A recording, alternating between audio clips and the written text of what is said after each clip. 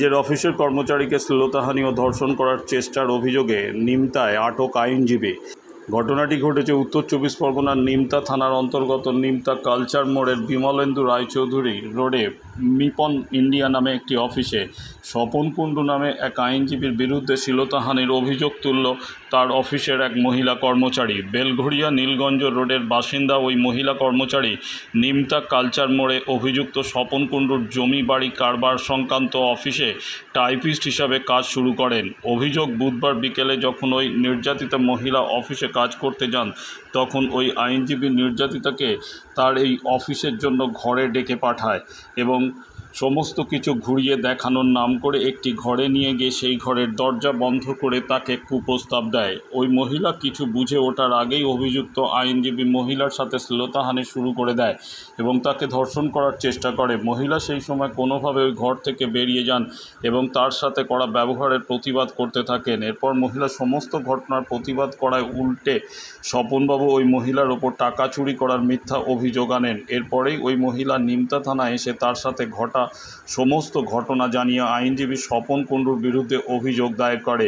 এই ঘটনায় অভিযুক্তকে জিজ্ঞাসাবাদের জন্য আটক করে তদন্ত শুরু করেছে নিমতা থানার পুলিশ। তবে এই ঘটনায় অভিযুক্ত স্বপনবাবু এর আগেও তার অফিসে কর্মরত মহিলাদের নানা ধরনের খারাপ মন্তব্য করতেন বলে অভিযোগ করেছেন তার অফিসের অন্যান্য মহিলা কর্মচারীরা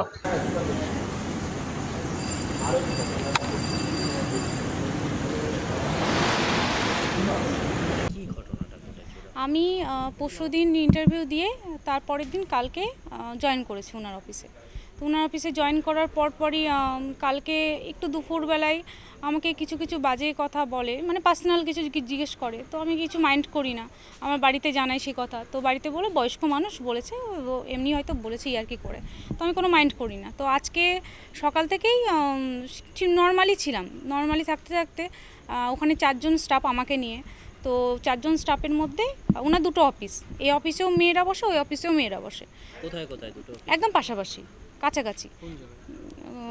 কালচার রোড কালচার মোড়ের ওখানটায়। তো একদম পাশাপাশি অফিস তো উনি আমাকে ও আমরা চারজন মেয়ের মধ্যে দুটো মেয়ে বাইরে গেছেন। বাইরে ব্যারাক বারাসাতের দিকে গেছে কোনো একটা কোর্টে কাজে কোর্টে না কোনো একটা কিছু কাজে গেছেন। লটারি না কি হবে, তো তার জন্য গেছেন। তো আমি আর একটা মেয়ে ছিলাম বসে। তো আমাকে উনি হট করে ফোন করে বলেন তুমি কোথায় আছো? বললাম, এই অফিসে। আমাকে বলল, "তু- তুমি ওই অফিসে গিয়ে বসো, ওই অফিসে টাইপ করো। কাজগুলো ওই অফিসে করো। দুজন দুই অফিসে থাকো। আমি বললাম, ঠিক আছে। আমি তখন ওই অফিসে যাই, গিয়ে বসি। কিছুক্ষণ পরে দেখি উনি এসে আমাকে হট করে ফোন করেন। ফোন করে আমাকে বলছে, আসো তোমাকে এই রুমগুলো পেছনে দেখিয়ে দিচ্ছি। কী কী আছে না আছে তুমি দেখে নাও। দেখে জেনে রাখো। পরবর্তী সময় তো এদিকে অফিস হবে। বললাম, ঠিক আছে। দিয়ে আমি গেলাম। যাওয়ার পর উনি সব জায়গা দেখালেন। রান্নাঘর এখানে আগে অফিস ছিল টেবিল চেয়ার সব রয়েছে ওখানে ভেতরে। তো টেবিল চেয়ার সবই রয়েছে। তো আমি ওখানে অনেক ঘুরে ঘুরে দেখছি বড় যেহেতু ঘর ছোট ছোট ঘর মানে ঘরের ভিতর ঘর ঘরের ভিতর ঘর আমি দেখছি। তো দাঁড়িয়ে আছি দাঁড়িয়ে থাকতে থাকতে হট করে উনি কোথা থেকে একটা অন্য ঘর থেকে একটা সতেরো ইঞ্চি ছোটো ঘর থেকে একটা সতেরো ইঞ্চি নিয়ে এসে মাটিতে পেটে দিল। তো আমার অত মাথায় তখন আসেনি। তো উনি বলছে আমাকে বসো। আমি বলছি কোথায় বসবো না, উনি বলছে নিচে বসো। আমি নিচে বসবো কেন? চেয়ার আছে তো, চেয়ারে বসি? বলছে, না, নিচে বসো। দিয়ে হট করে উনি, আমি দরজার মানে আমি বেশিটা আমি বেশিটা ভেতরেও যাইনি। দরজার একদম সাইডে মানে পেছন, পেছনের দরজা, আমি দরজা লাগিয়ে দাঁড়িয়ে আছি। তো উনি হট করে কী করল? দরজাটা লাগিয়ে দিল। লাগিয়ে দিয়ে আমাকে জড়ি ধরে মানে বাটন টাটন খুলে তখন গোটা গায়ে মানে হাত ইয়ে দেওয়া ইয়ে দেওয়া। তো আমি ওই মুহূর্তে সঙ্গে সঙ্গে আমি বাজে কয়েকটা বাজে কথা ওনাকে বলে কি আমি আপ- আপনি কি আমাকে নোংরা মেয়ে ভেবেছেন? আমি কি বসার জন্য সব কিছু করব? এরকম এরকম বলে আমি তাড়াতাড়ি করে ঘর থেকে ছিটকানিটা খুলে জাস্ট বাইরে বেরিয়ে এসেছি। তখন থেকে আমি মানে রেগে টেগে ছিলাম, দরজাটা জোরসে খুলি, এ করি। তখন আসে আসে পাশেই আর একটা সেন্টার ছিল, আয়া সেন্টার নাকি? তো ওখানে ওনারাও দেখলেন। দরজাটা আমি এ করলাম মানে বাজেভাবে কথা বললাম ওনাকে তারপরে তখন ওনারা বুঝতে পারেননি মানে আমি তখন সেই মুহূর্তে উনি কী করলেন, আগে আগে ওই- উনি কী করলেন, আগে আগে ওই অফিসে চলে গেলেন, যেন আমি বেশি চিৎকার না করতে পারি। তো ওই অফিসে আমি ওনার পেছন পেছন গেলাম, গিয়ে ওই মেয়েটা বসেছিল, ওই মেয়েটাকে ডেকে বলল, তুমি এ করো, তুমি ওই ঘরে বসো। ওই মেয়েটার সঙ্গে সঙ্গে চলে গেল। তারপরে তখন আমি জিজ্ঞেস করছি, আপনি কি এই কাজটা ঠিক করলেন? তখন আমাকে উনি ধমকি দিচ্ছে। কি তুমি যেই মেয়ের মেয়ের সোর্সে এসছো সে মেয়েটাকে ফোন করছি, দাঁড়াও ফোন করে বলছি। তো উনি সঙ্গে, আমি বললাম হ্যাঁ ফোন করুন, আমি জানতে চাই সে মেয়েটাও কি বলবে? বলছে, ওই মেয়ে আমার হয়ে বলবে। দিয়ে হট করে আমি বললাম ফোন লাগান। দিয়ে ফোন করে ওনাকে বলছে তুমি যেই মেয়েকে দিয়েছ ও ভাঙচুর করছে। এবার আমার বান্ধবী জিজ্ঞেস করছে, ভাঙচুর কেন করছে? তখন উনি বলছেন, আমি ওনাকে আমার আমার সাথে থাকতে বলেছিলাম। না, কি একটা, এক্ষুনি স্টেটমেন্ট দিল ওখানে ভেতরে। তার জন্য ও ভাঙচুর করছে। তখন ও শুনে, সঙ্গে সঙ্গে তখন ও আসে। তখন সে মুহূর্তে আমি বাইরে যাই, বাইরে গিয়ে চিৎকার ফিৎকার করি, অনেক লোকজন জড়ো করি। পাশের যে আয়া সেন্টার ছিল ওখানকার একটা ছেলে ছিল, খুব হেল্প করে। আসে, ধরে ওনাকে বাইক বাইক নিয়ে পালিয়ে যাচ্ছিল। সেই মুহূর্তে বাইকের চাবি কেড়ে টেড়ে ওনাকে আটকে রাখেন উনি হাওড়ার শুনলাম, হাওড়ার ওদিকে, হাওড়া না শিয়ালদা শিয়ালদা সরি শিয়ালদা, শিয়ালদার ওখানে আছে। যান না বলে ওখানে কোর্টে বেশি যান না, কিন্তু ওখানে বসেই সব দলিল ফলিল করেন উনি। হ্যাঁ থানায় অভিযোগ দেওয়া হয়েছে। উনি এখন জেলে রয়েছে। কালকে আসতে বলল। আপনি এখন কি চাইছেন? আমি বিচার চাইছি এখন ওনার লাইসেন্সটা ক্যান্সেল হোক। উনি যেন এরকম দ্বিতীয়বার না করতে পারে। ওনার বাড়ির লোকও এমনকি সাপোর্ট করছে। ওনার মেয়ে একজন মেয়ে- একজন মেয়ে ল নিয়ে পড়ছে একজন নিয়ে ডক্টর ডক্টর পড় নিয়ে পড়ছে। ওনারা দুজন বলছে আমার বাবা ঠিক করেছে যেটা করেছে। তুমি ভুল। একটা মেয়ে হয়ে যদি ওরা মেয়ের পাশে এসে না দাঁড়ায় তাহলে এরা ডক্টর আর ল কী কী হবে? ওদের পড়াশোনার কোনো দামই নেই। আমার যেটা মনে হয়। টাকার জোরে হয়তো পড়াশোনা করছে, আর কিছুই না। আমার নাম পূজা দত্ত।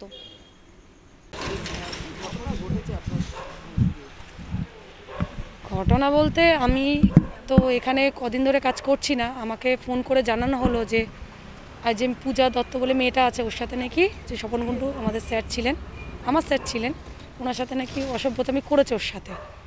এরপরে আমাদেরও এক সময় বলতো, আমি আগে হয়তো সাত বছরে আমি শুনিনি কিন্তু ইদানিং দু তিন বছর ধরে অন্যরকম ঘুরিয়ে পার্সোনাল কথা জিজ্ঞাসা করতো। কিন্তু আমরা কখনো পাত্তা দিতাম না। মানে একটা পার্সোনাল একটা বয়ফ্রেন্ডের সাথে কি করা হলো না হলো ওরকম ব্যাপার। সব রকমভাবে জিজ্ঞাসা করতো পার্সোনাল বলতে আর কি এরকম জিজ্ঞাসা করতো। কিন্তু আমরা কখনো প্রশ্রয় দিইনি বা কথা ঘুরিয়ে দিয়েছি সবসময়। তাহলে কাজ করছি প্রথমভাবে ঘুরিয়ে দিই। আমি ওখানে লয়েড অ্যাডভোকেট উনি। আমি দলিল টলিল টাইপ টাইপ করতাম সব কিছু স্বপন কুণ্ড।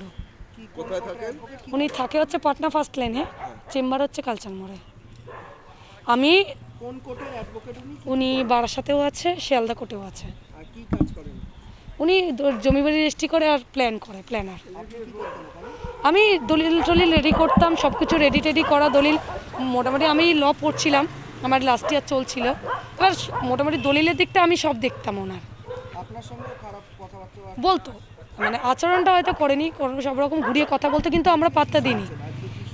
আজকে শুনলাম যে মেয়েটাকে নাকি ডেকেছে ঘরে, ফোন করে। তারপরে নাকি একটা কি সতেরো ইঞ্চি বা কিছু একটা পেতে ওকে জড়িয়ে ধরেছে।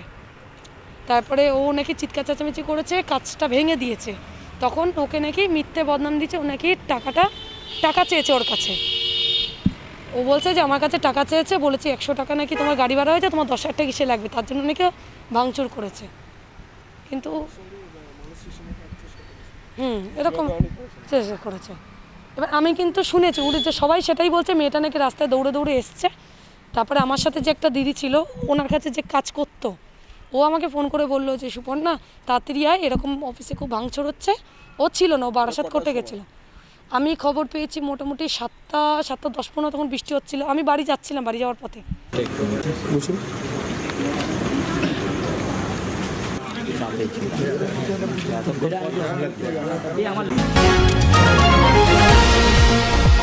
কলিঙ্গা উপত্যকায় পর্যটকদের বাস উল্টে ছজন নিহত, পঁয়তাল্লিশ জন আহত। কান্ধমাল জেলার ফুলবনির কলিঙ্গ উপত্যকায় দুর্গাপ্রসাদ সীমান্তে পশ্চিমবঙ্গের একটি পর্যটক বাস উল্টে গেছে।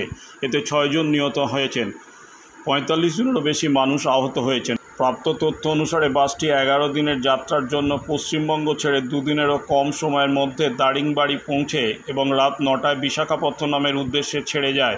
তবে চালক ভারসাম্য হারিয়ে কলিঙ্গা ঘাটিতে বাসটি উল্টে যায়। খবর পেয়ে দুর্গাপ্রসাদ এলাকার যুব শাখার কর্মীরা ঘটনাস্থলে ছুটে যান। বাসে পঁয়ষট্টি জন যাত্রী ছিল।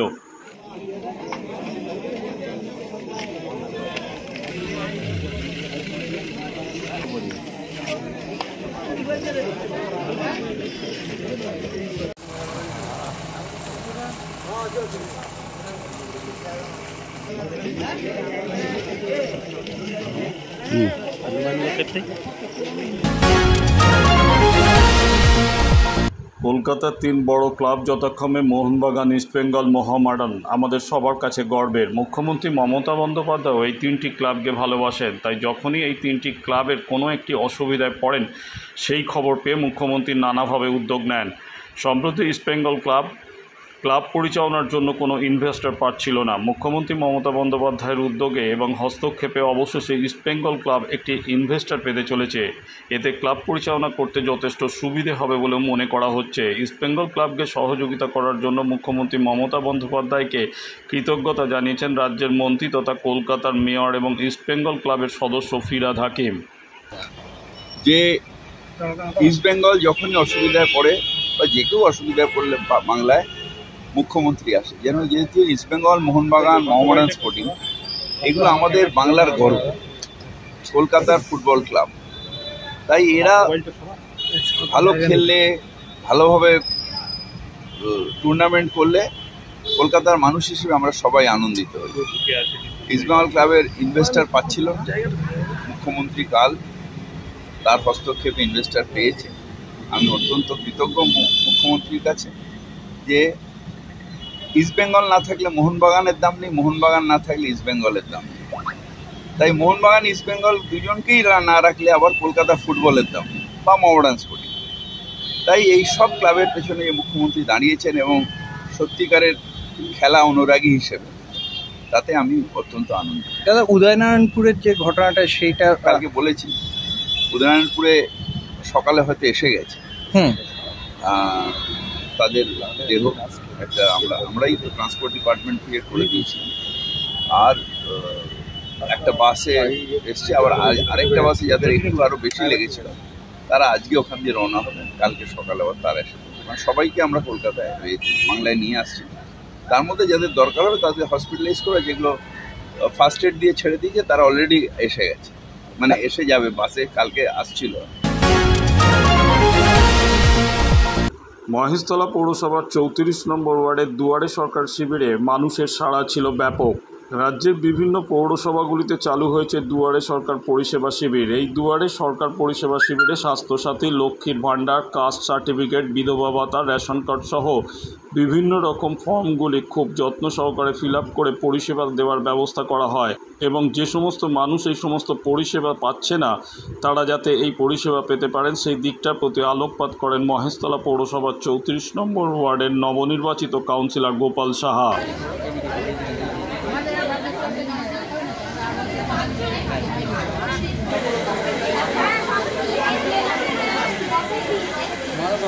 Institute of Technology, Kolkata, conducting AICT recognized and university affiliated MBA Engineering and Polytechnic program.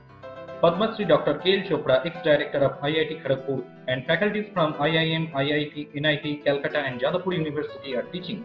20 acres campus with hostel and canteen facility, library, book bank facility, language lab, Wi-Fi campus, sports complex, gymnasium, and swimming pool. Strong association with 50 companies for best training and placement. For detail, visit BBIT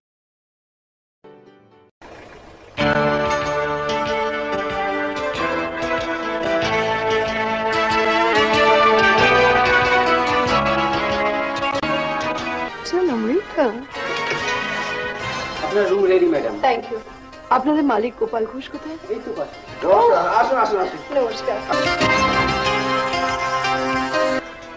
কি homely পরিবেশ। One coffee please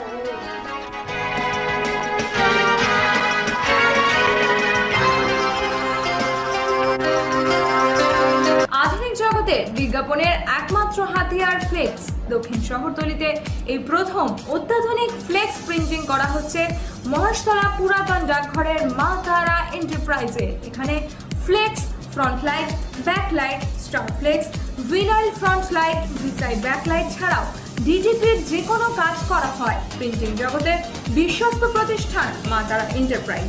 পুরাতন ডাকঘরে Bharat petrol পাম্পের বিপরীতে মা তারা enterprise.